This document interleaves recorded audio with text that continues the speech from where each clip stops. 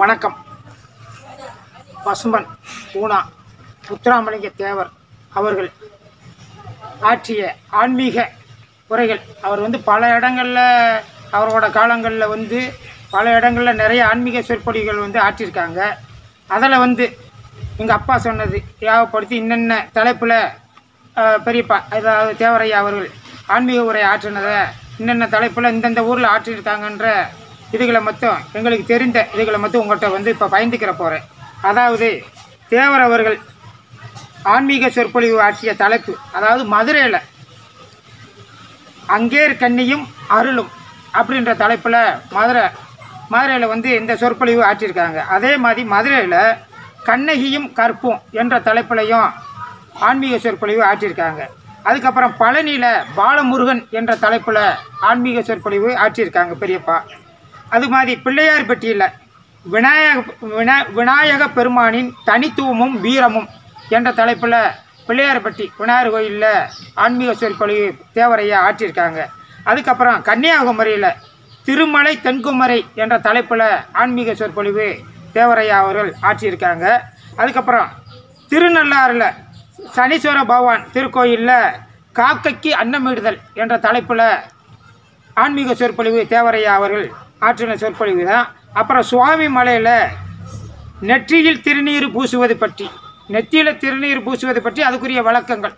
அதுகளை பற்றி ஒரு ஆன்மீக சொற்பொழிவு சுவாமி மலையில் தேவரையா அவர்கள் ஆற்றியிருக்காங்க. அதே மாதிரி அதே மாதிரி விருதுநகர் மாரியம்மன் கோயிலில் விருதுநகர் மாரியம்மன் கோயிலில் அக்னி சட்டி எடுத்தல் அக்னி சட்டி எடுத்தல். அதன் பயன் என்ன? அப்படின்ற தலைப்பில் பெரியப்பா பசுமன் முத்துராமலிங்க தேவர்கள் வந்து ஆன்மீக உரை ஆற்றியிருக்காங்க அதுக்கப்புறம் ராமநாத ராமேஸ்வரம். ராமேஸ்வரத்தில் ராமநாத சுவாமியும் தீர்த்தங்களோட மகிமை. அங்கே தீர்த்தம் மாறுறோம்ல அந்த இது தீர்த்தங்களோட மகிமையும் என்ற தலைப்புலையும் ஆன்மீக சொற்பொழிவு ஆற்றியிருக்காங்க. அப்புறம் சாயல்குடியில் விவேகானந்தர் உரை.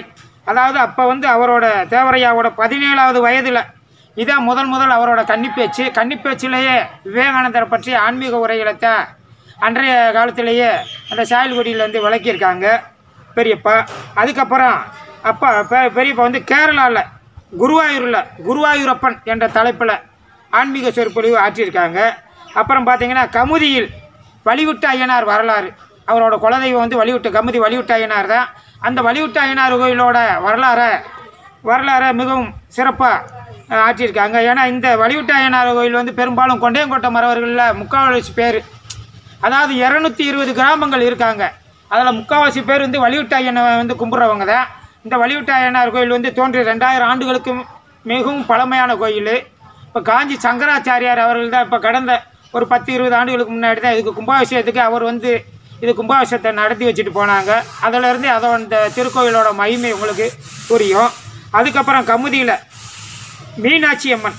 மீனாட்சி அம்மன் கோயிலில் மீனாட்சி என்ற தலைப்பில் சொற்பொழிவு ஆற்றியிருக்காங்க. அப்புறம் நாமக்கல்ல நாமக்கல்ல ஆஞ்சநேயரின் பலம் என்ற தலைப்பில் சொற்பொழிவு ஆற்றியிருக்காரு தேவரையா. அதுக்கப்புறம் காசி பல்கலைக்கழகத்தில் அதாவது காசி விஸ்வநாதர் கோயிலில் விஸ்வநாதர் கோயில்லையும் காசி பல்கலைக்கழகத்தில் வந்து கங்கையும் அதன் புனிதமும் என்ற தலைப்பில் மூணு மணி நேரம். பெரியப்பா அவர்கள் வந்து ஆங்கிலத்தில் மூணு மூணு மணி நேரம் உரையாற்றியிருக்காங்க. ஆங்கில சொற்பொழிவு ஆற்றியிருக்காங்க. அதுக்கப்புறம் பார்த்திங்கன்னா திருச்செந்தூரில் முருகன் அழகு என்ற தலைப்பில் ஆன்மீக சொற்பொழிவு பெரியப்பா ஆற்றியிருக்காங்க? அது மாதிரி திருச்சுழியில் திருநீலகண்டன் என்ற தலைப்பில் பெரியப்பா ஆன் ஆன்மீக சொற்பொழிவு ஆற்றியிருக்காரு.